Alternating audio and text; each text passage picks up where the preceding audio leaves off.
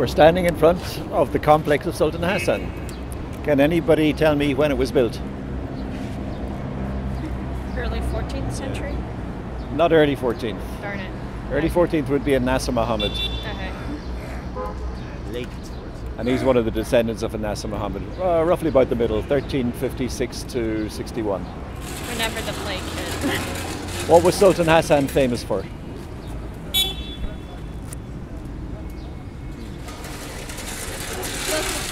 Hmm? For what? The entrance or not? Well, that's, Are you talking about the talking about the guy? I'm talking about the guy, yes. Oh. He confiscated a lot of money from the public treasury. Well, it wasn't that he confiscated it, it was that it, it arrived there without him having to do anything, in fact. Yeah. But he, he certainly used a lot of it, yes. Yeah. Uh, but militarily, politically, Uh, a lot of people died and there was probate. but again, he didn't kill them, so uh, you can't sort of Black plague. Yes, now that's that's important certainly, but uh, the interesting thing is that he is only famous for producing this building. He didn't expand Mamluk territory. He wouldn't, didn't win any great battles. So he, in a sense, had the good luck to be in power when the plague struck Egypt. Uh, thousands of families died, and the money went into the public treasury. So there was a lot more to spend on building than was usual, and he made good use of it, as you can see. Do you remember the different parts of the complex? Many different functions do we have inside? Um, a mosque and a madrasa. There's a mosque and how many madrasas? Well, there's like one for each of the four schools of law, right? Yeah, there are four madrasas in each of the four corners of the building. And what are we looking at here? Ne- nearest to us on the, Mausoleum. the left, this is the mausoleum. This is the part that juts out behind the Qibla Iwan into the Maidan. And why is that uh, a good way to site the different components, or in particular the mausoleum? What's the advantage of being where it is? Gets the, the prayers. Two points. First of all, it's beside the prayer hall. In fact, right behind the prayer hall, uniquely for a Mamluk building. And first thing. it's open on yeah, it's open on three sides to passers-by. In fact, not just the one or two, perhaps that uh, we have in earlier buildings. So extremely advantageous. Uh, looking from this viewpoint, you can see that the portal is not aligned with the wall on the side of the building, but it's tilted a little bit. So, in fact, from here you get a wonderful view from the uh, citadel angle and from this Maidan, which was one of the most important uh, parts of the urban fabric of Cairo at the time. So, that's uh, an effective way of just advertising how important, big, rich your complex is and what a generous patron. Okay, we'll move inside. Have a look at the facade. And in class, we were discussing evidence for the fact that it was unfinished. So just have a look at that and tell me again which parts of it uh, are unfinished. This part. The upper part. The lace ribbon is not finished. Yeah. This is one which was originally designed to have two minarets on top of it. There are several features of this building and the portal which have designs or forms reminiscent of Seljuk Anatolian architecture. The engaged columns at either side that you see that have the twisted rope molding on it. Mm-hmm. That's one of the motifs that you see in Seljuk architecture there. And when we go closer, we'll look at one a very dense geometric interlacing band, which is also typical of there. And many of the Anatolian portals do have twin minarets on them. But when this was being built, one of them fell down onto a maktab below and killed uh, dozens of children. So, for some reason, this was taken to be a bad omen, and uh, Uh, they stopped Couldn't building the minarets at, at that stage, yes. so the question is uh, why did they fall? Perhaps they started to rise straight from the very top of the Iwan here. Mm-hmm. But in the Seljuk Anatolian examples, they are designed to go up slightly from the side so that they're partially buttressed by the top of the ah. Iwan. And there really isn't any side portion here that they would have fit on easily. So perhaps this lack of understanding was what caused them to collapse. Mm-hmm. Uh, okay, let's go a little bit closer and, and look at the plan of the building.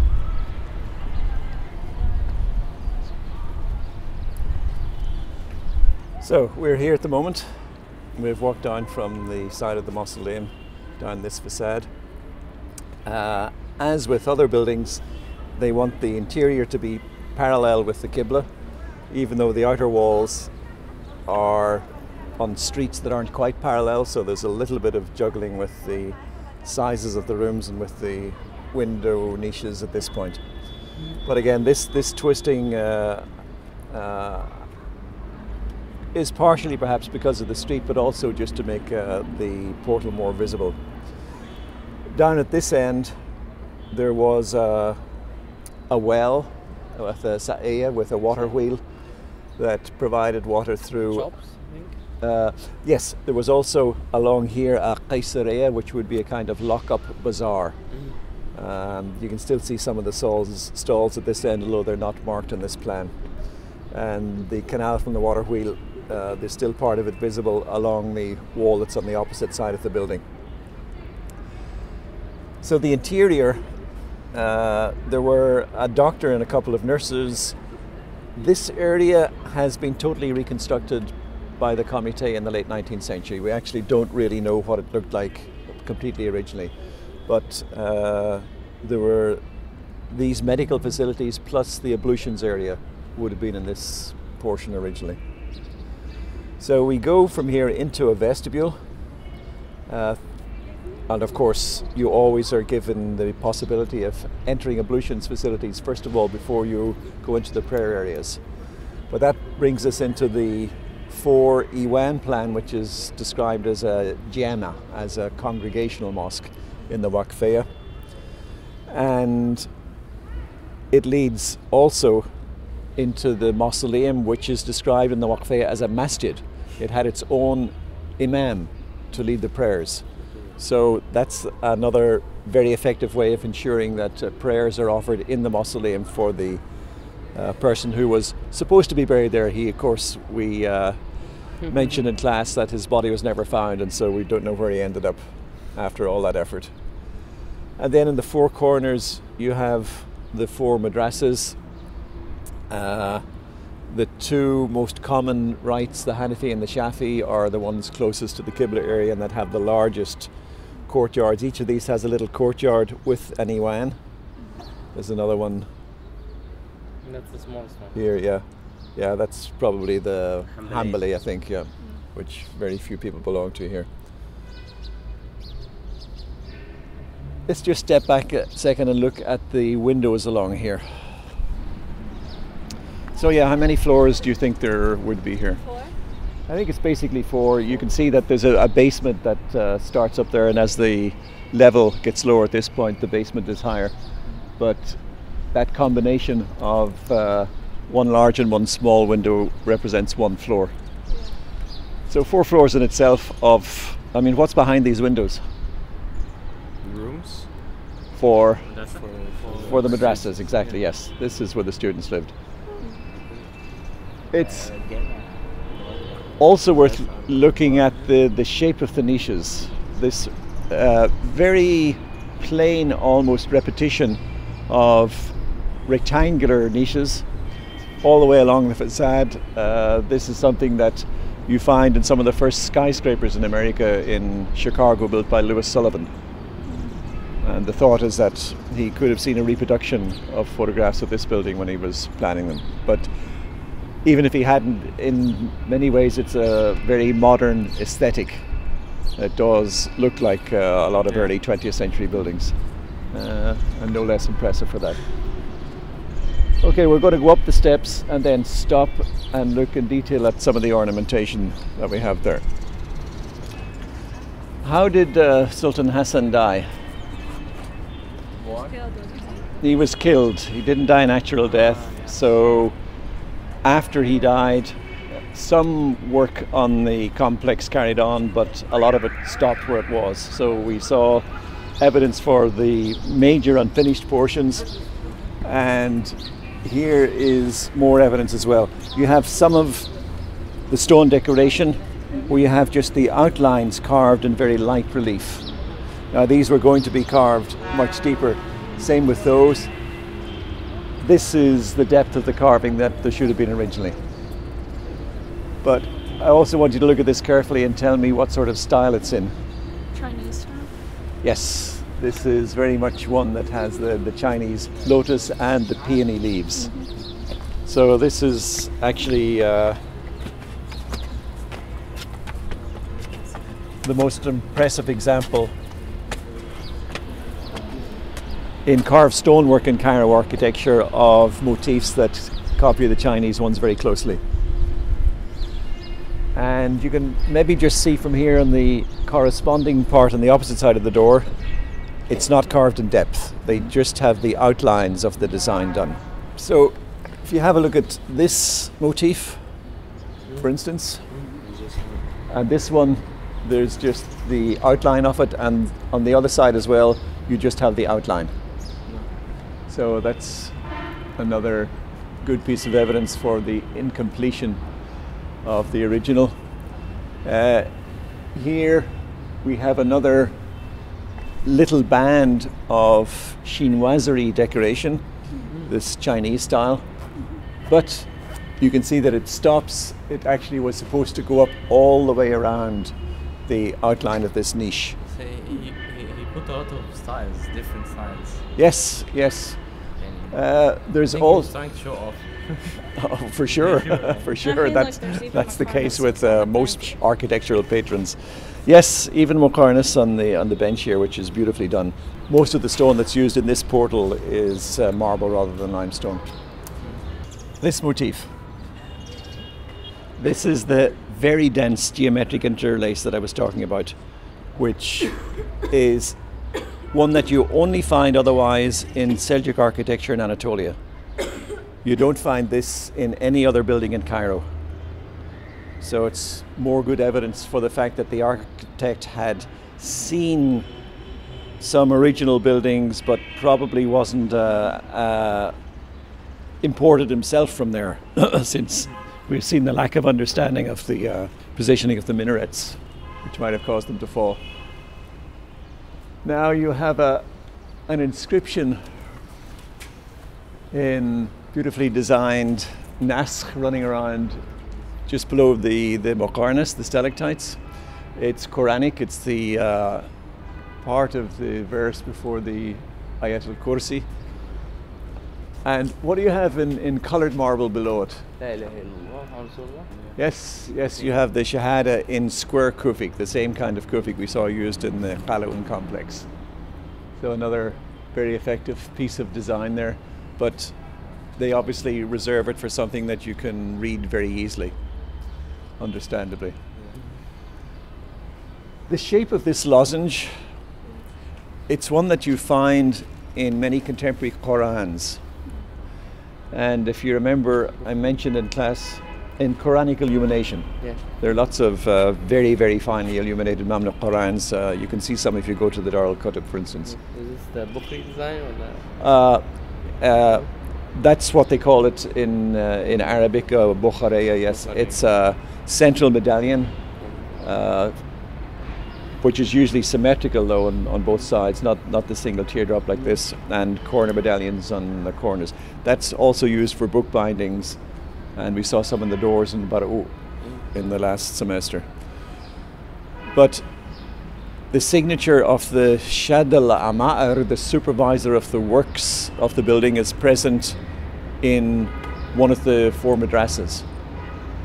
And it's uh, Muhammad ibn Bilik who also has a signature, on a Quran of the same period. He, although he was a Mamluk Emir, he was also an expert calligrapher, unusually. And it's thought that the unusual amount of decoration that is similar to Quranic illumination is because he was partially responsible for the design of these elements. So that's a surprising feature. Uh, I mean, there's other fabulous marble carvings, such as these two panels on both sides of the entrance to the door. Uh, the doors look very plain. Why is that? Well, not original. Because they're not original. Where are the originals? It's another mosque. European European. They're in another mosque. Yeah, it's another sultan who, who fancied them for his own building to sort of not quite borrowed them. He did pay a price for them, but obviously, or not obviously, but it was much less than uh, what they were worth. You don't steal something and then move it to the building across the street. yeah, you move it a little bit further away. I mean, there was a, uh, a contemporary historian, Makrizi, who wrote most about the architecture, who described the Mamluks as thieves stealing from thieves. So Oh, okay. here's an appropriate example of it. Al Mu'ayyid was the name of the sultan who took it. His mosque is just behind Bab Zuwayla. It's the mosque that used to be a prison. And he says, if There used to be a prison, out, I'll make a exactly, exactly. Uh, he built a mosque, so uh, What were the that's what is there now. and uh, he put the, the two minarets on top of Bab Zuwayla as well, which make it an even more impressive landmark. So if you're in that area, stop, and you can always see the doors, even if the mosque isn't open. Okay, we need to go in. He wants to see our.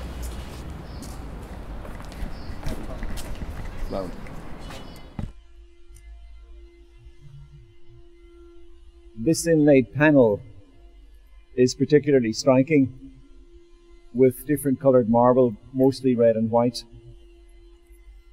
It's very like others that were being made in Syria at the time. It's in uh, Damascus, in particular, that we have the closest parallels for this. And this was such a huge building project that it's likely that craftsmen came from all over the Mamluk world. So we get, uh, as well as examples of Anatolian influence, we also have Syrian influence. It's possibly been restored. Yeah, there are some slight variations in the color, but I think even in the original stone, it may not have been exactly the same shade. So, I mean, I never thought of this as being heavily restored before. Uh, it's it's in a part of the building that wasn't subject to weathering, so it, it may not actually have uh, have changed that much. Uh, it's also worth looking at the other carved stone patterns here. Uh, We tried all the patterns. yeah, I mean, this is uh, uh, an extremely delicately carved medallion which has many layers. You have uh, an outer layer of this intersecting bands connected to arabesques, but below it you have yet another layer of arabesques, vegetal ornamentation in the background. And there's a very different type of design in the center. What type of leaf is this in the middle? the, the leaf design that you have here, these leaves are very different from the ones that are used in the other part of the medallion. No, they're not. Uh, no, these are surprisingly archaic at this stage. They go back to a much, a much earlier style in Islamic architecture. These are more like acanthus leaves which uh, the Romans used and which you have in the Umayyad period as well. So, just why they're being revived here, I- I'm not too sure. There's a rectangular panel above it. Uh, we've seen the, the type of geometric interlacing stars often enough, but there's something different about this. It doesn't have any specific shape. Well, it has a specific shape. You're you're you're voicing something which is correct, but if you can put it in another, infinity? It- Doesn't look Arabesque. And it's not symmetrical. It doesn't have any stars. it's not symmetrical around a vertical axis. Yes. But if you come back here, Oh, it's symmetrical Uh, it's symmetrical from a horizontal axis, yes, But also, just just come over here. Compare it with the corresponding panel over there. It's a mirror image. So if you're down there in the vestibule looking at them both at the same time, you do get a feeling of symmetry in a different way. So it's very carefully thought out. Uh, and another interesting square panel on the side. What's uh, unusual about that? Two things, because there are three on the other side.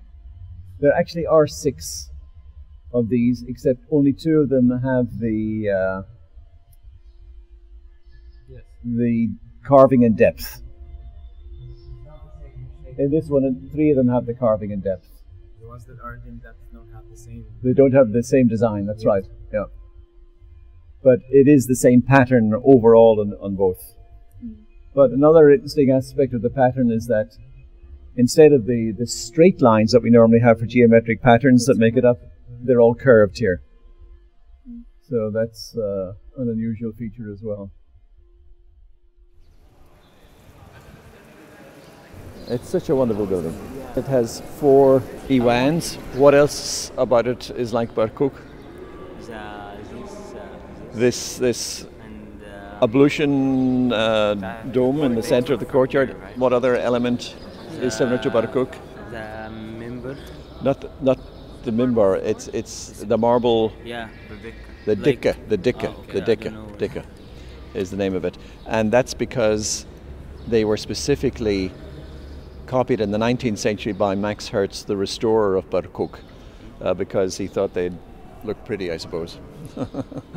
so uh, it's not just coincidence that uh, some of them are the same. So, in terms of size, this is easily the most impressive of Mamluk buildings, particularly in the courtyard. Although there's also a, a reason why the Qibla Iwan is so big. Uh, do you remember what the patron Sultan Hassan particularly wanted?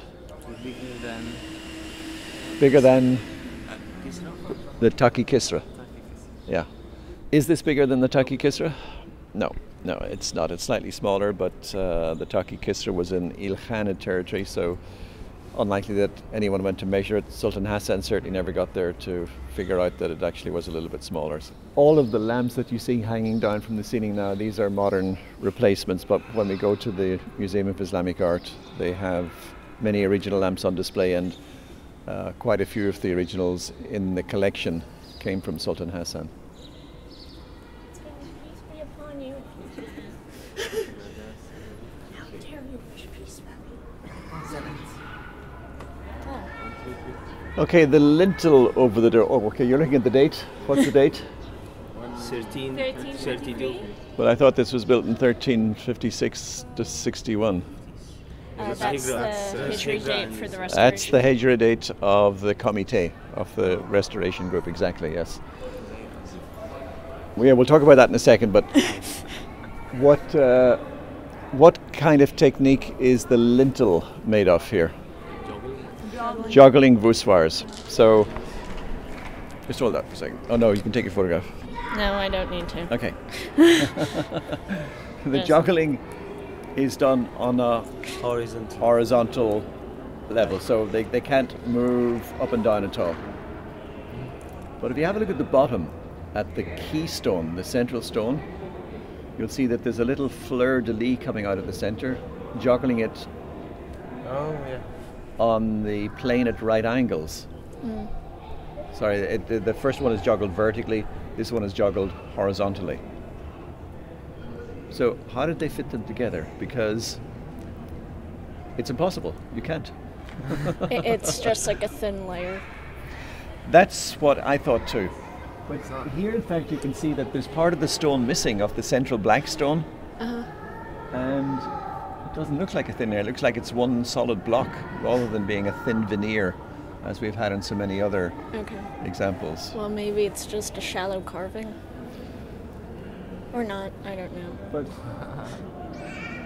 but Well, we can't tell from here how shallow it is, but the, the rest of the stone is solid. So, No one's I mean, that. you can't, you know, there isn't a line where they've stuck on a little bit extra. Mm. Well, a student actually made a model for me once, although it was just a fiberglass and it was a larger scale, which uh, showed that you could have it coming in at a 45 angle degree. I don't know if that's what they actually used here. Nobody has ever completely convincingly explained this mystery to me. but it, uh, it remains one of the most int- intriguing aspects of the design of the whole complex. Oh yes, I also wanted to mention about the uh, the shape of the ablutions fountain. You can see it has a wooden bulbous dome on top. There was a 17th century traveller, an Italian traveller, who described the dome over the mausoleum as being shaped like an egg. So it too originally was probably a bulbous one that very likely was made of wood. But like the, the Qal'un and the Barkuk examples, they also restored it with masonry. Still surviving. Who can read the beginning of this inscription for me? Very good. Uh, uh so I take refuge in God from Satan the cursed. There is no, uh, no. It's it's it's Kufic. It's Kufic. So they don't do dots in Kufic. Just to annoy you. Yeah, now uh, you're forced to guess. yes. But it's a common phrase actually, so it's easy to recognize, and the, the continuation of it is a Quranic inscription that starts with the basmala. But it's. yes, it's actually very rare in Cairo to have this introductory phrase to a Quranic inscription. Mm. And the thinking is that the stucco inscription that goes all the way around the Qibla Iwan was probably designed to go all the way around the four Iwans and along the courtyard as well. But they ran out of money when they built it. So to just give a sense of completion, they maybe added this phrase at the beginning and another one at the end, uh, and that was as much as they could do. No, I don't see the completion Sure, script. sure. But let me just uh, let me just talk about something else because there's a in addition to this Quranic inscription, there's another inscription here somewhere. Have a look on at the stucco inscription and see if you can find it. Oh, on the side. Uh, Oh. but it's not complete. Like it's. Uh, No, it might It's be a signature. It just Yeah, started, it didn't finish. yeah, yes, it doesn't look that's like ex- Yeah, it's like yeah. there is uh, part of a word or something, and then They, com- change it, it Because, change I it mean, into design. You wouldn't. And then it changes into design. So Yeah. he took only as much space as was necessary to sign his name. It begins with Amal, and that's actually very unusual in Cairo. Oh, it is. It is. It's a, it's, it's a signature. It uh, hasn't been completely read, but it starts Amal. It's something like uh, Muhammad ibn Abdullah, and it ends uh, Al Yamani. Al Yamani is, is the nisba. It doesn't necessarily mean that he came straight from Yemen. You can get a nisba from by lineage. His family could have come to Cairo before, and he still could have been trained here. So, uh,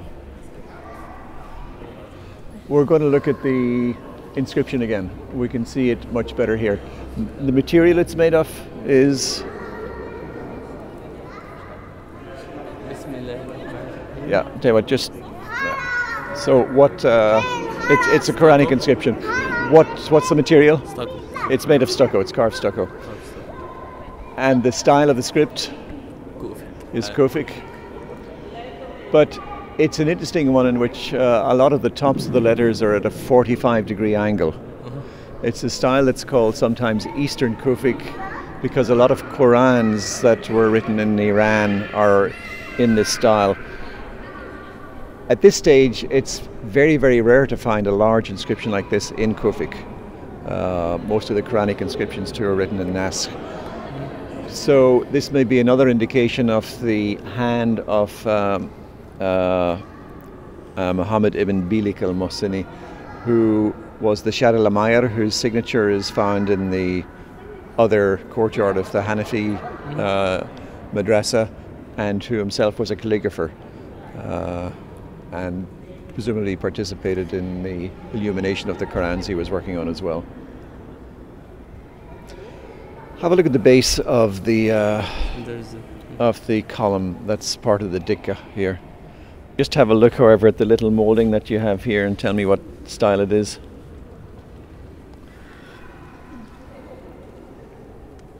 Chinese style. Yeah, another example of these uh, little Chinese lotuses that we have on the on the outside of the building. So there are quite a few offered here. I used to tell people because this was frequently referred to as the Dikkat al Muballigh. What what did the Muballigh do?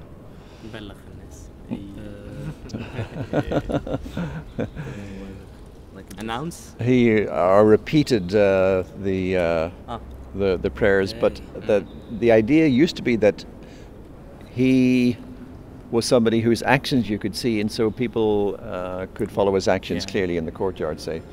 But then it was pointed out to me by Doris Behrens-Abouseif, who's our greatest expert on Mamluk architecture, that it's always called in the Waqfiyat Dikkat al Mu'azzanin. But but if you're giving a call to prayer from here, who's going to hear you? The. Hmm? Nobody outside the building, that's for sure. Exactly. So it's for a special call to prayer, the Iqama, which is given for those who are inside the mosque. For the people in So come up close here to the uh, mihrab niche for a second. We have Allah in three niches at the top, which looks like it has, uh, oh well, almost lightning-like uh, rays coming from it towards the uh, joggling at the top. And then below the inscription, we have more of these little dwarf columns, which the fashion was started for in the Qalawun complex and the mihrab and they're flat in this case. That's right. They're not uh, not quite as impressive. I think it might be made of marble, but they've they've painted them in this gold paint recently. So I think mm, probably all the revetment here is marble, but uh, the painting you can see, in fact, makes it much easier to pick out the design. And that was probably the case with all the other examples of marble that we've seen as well. But what isn't of wood here is also interesting, and that is the mimbar. This has a very impressive Muqarnas portal leading up to the steps. The whole entrance is made more impressive by this very elaborate moulding, which is also something very unusual. Uh, and the uh, the revetted doors with bronze, which again I don't know from any other mimbar in Cairo. And we have lots of these wonderful doors. This is the best of all. This is the door that leads to the mausoleum, and it would have had two doors like this originally. The other one has disappeared. There's a some sign. I really don't know. In So, middle? so in the middle, what's what's in the middle? I presume it's part of an inscription that that is uh, in praise of the patron. That's what you would expect to find here. What's the material of that? Is it golden lane? That's gold inlay, and uh, the the silver color is is actual silver inlay as well. Here too, if you look carefully at the, the big knockers, it's it's a unique shape for door knockers. There isn't another one like them. In addition to these uh, bosses, can you see the design that is between the bosses, the circular bosses? Oh, no. Yes, more Chinese lotuses. Yeah. Yeah. So, speaking of show offs, this is another example of the one we saw There probably isn't Barkuk. In that Barkuk. Exactly. They probably The Quran is so big. There is. Yes, they did have Qurans that big, and Really? I, again, if you go to the Dar al Kutub, uh, they I think they do have some on display at the moment. Although I haven't been there in a while. Uh, and this one, unlike the one of Barkuk, this has inlay which is also carved as well as just being uh, markedly flat. Instead of the flat portions of Barkuk, this is much finer uh, carving. Uh, very thick window embrasures, and according to the Waqfeya, like Qalawun, there were teams of Quran readers who 24 hours a day read uh, for the benefit of the passers-by and so forth. It's a typical feature of mausoleums versus the other prayer areas of complexes. The mausoleums are the parts that receive the finest decoration. Above the marble dado, you have an inscription. It's in bulbous. Uh, it, it- this is made of carved wood, which is then painted. Wow. The design of the inscription, the thing that's different about it is that it looks squashed to me. No way. Yeah. Uh, they usually, the size of the letters in regard to the height of the frame is very big. And it makes it easier to read, but it, it just doesn't look that elegant, unfortunately. Uh, so above that we have, yes, the lighting brackets, which also had very fine painting on them. And then above that again, what's the zone of transition made of? Um, Corners Temple Convento. Yeah, muqarnas pendentives, and these also have fabulous painting on them.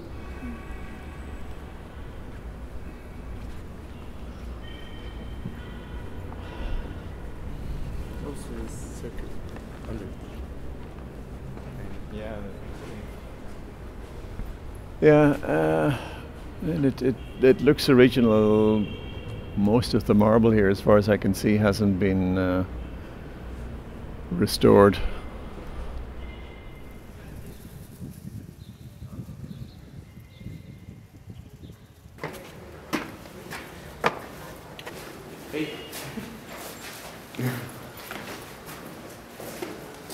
We're here in one of the four madrasas, and the Hanafi madrasa in particular.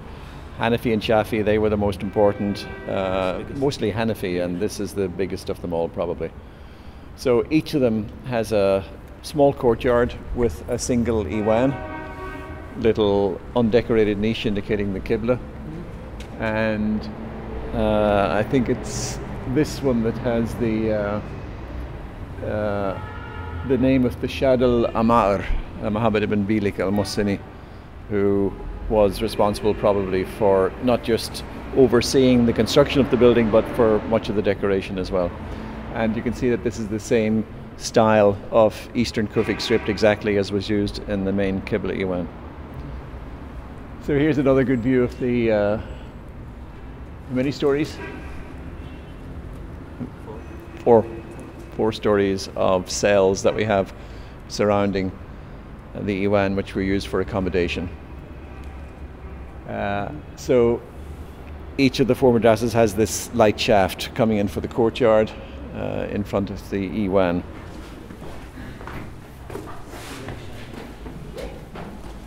Just watch out for the rats and the, and the bats.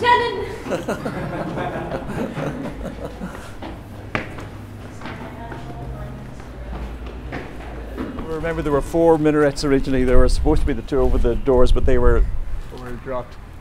Uh, this one is a later Ottoman addition. This is the only minaret from the original building that survives, and it's the, the tallest single Mamluk minaret in Cairo. Uh, the octagonal stories, but interesting design at the top. It has these muqarnas that have projecting elements. They look like little spikes around the top. Yeah, I saw similar spikes at the medallion in the. in the mausoleum. Yeah. that's right. Yeah. So same kind of idea. They don't actually uh, have any masonry above them. They're just purely decorative at that point. Uh, you also get a great view here of the the, the domes and the minarets of the Rifa'i Mosque across the road. Uh, you can see the outside of the dome better. So all of that top part is new masonry construction that was added by the Comité to replace the original wooden bulbous dome that they had there.